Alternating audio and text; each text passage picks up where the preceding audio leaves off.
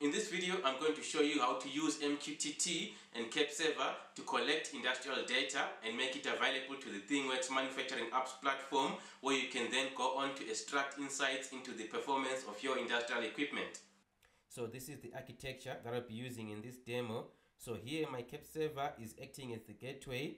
On one end, it allows you to connect to the ThingWorx Manufacturing Apps platform and on the other end, it allows you to connect to over 150 industrial devices and software applications and we could very well be using any of those drivers right now but in this demo I'll be using its MQTT drivers to subscribe to data being published to a centralized HiveMQ broker by line 1, line 2 and line 3 which are my Raspberry Pi, my groov EPIC controller and this legacy controller here.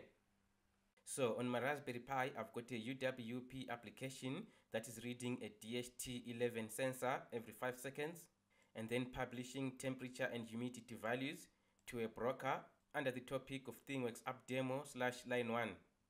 And then on the send MQTT method, I'm specifying the TCP server for my HiveMQ public broker. And then on my groov EPIC controller, I've got a Node-RED flow that is reading the temperature from the temperature module and reading a digital input that simulates a line status and then publishing both temperature and line status to the broker under the topic ThingWorx app demo slash line 2 and then I've got Node-RED running on my PC connected to the legacy controller and reading the potentiometer value that is simulating the fuel level. And then from there I'm publishing that fuel level to the broker under the topic ThingWorx app demo slash line 3.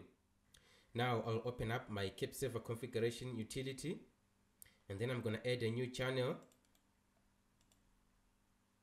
And it's going to be my MQTT client.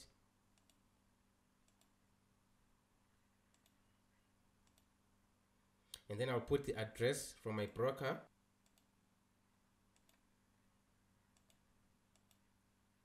And then from there I'm going to add a device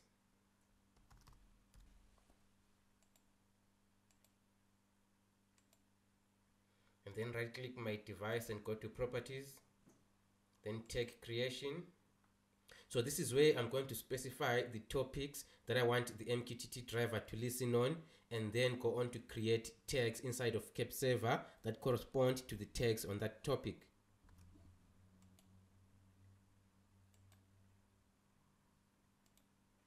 Okay, so the tag generation has been successfully completed, so I'll go ahead and do the generation for the rest of the tags. Okay, so I've successfully generated all of my text Now if you go to Explorer here, you can see a tree structure has been formed. So now I'll start my OPC client to see the data.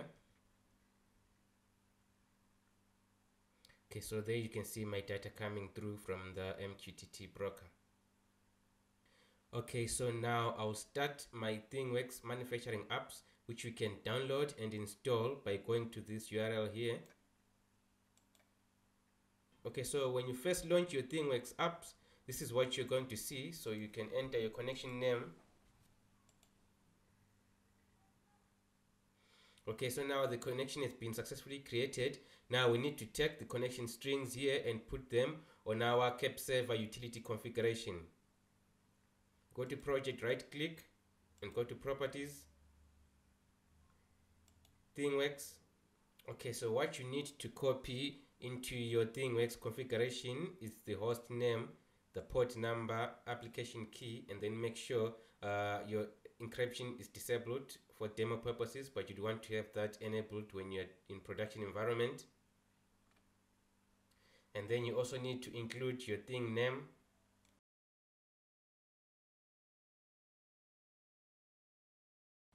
and then once you've done that you can launch your apps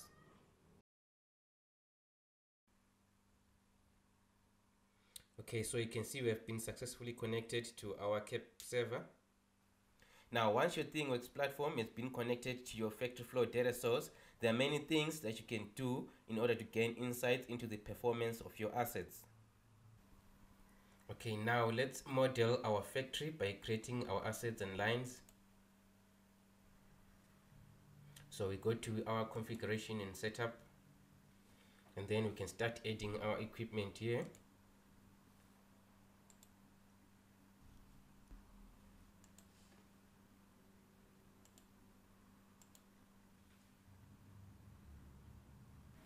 then once we've finished adding our assets we can then add the lines in which these assets are located. And then on the addition of our lines we can then go to equipment structure to add our assets inside the lines. Now once we have the model of our factory we can go ahead and add a user. And then you can also assign the role for the user. Now back to our equipment configuration page here. We can drill into an asset. Now here under general information you can specify equipment information such as the model number and you can also upload its image. And then here you can put its plant operation time and the KPI calculation period. And then here under additional properties you can add additional properties which in this case can be uh, any of the data that we're sending via MQTT which in this case can be any sensor information that we're collecting and publishing via MQTT to our KEPServer. So I'll go ahead and add temperature and humidity sensor data from our asset 1. Go to our channel 5. ThingWorx app demo. Then on temperature, apply. And then I'll do the same for humidity.